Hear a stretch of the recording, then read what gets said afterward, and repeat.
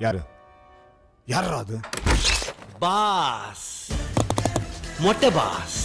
இங்க எதுக்கு வந்த? திருப்பி கொடுக்க. புரியல? சிவாஜிய கொன்னது நீதான் இந்த எம்எம்எஸ் வச்ச உனக்கு மரண தண்டனை வாங்கி கொடுக்க முடியும். ஏய் நீ மொட்டை அடிச்சு எம்ஜிஆர்னு சொல்லி ஊரை ஏமாத்தலாம். என்ன ஏமாத்த முடியாது. நீ தான் சிவாஜின்னு எனக்கு நல்லா தெரியும்.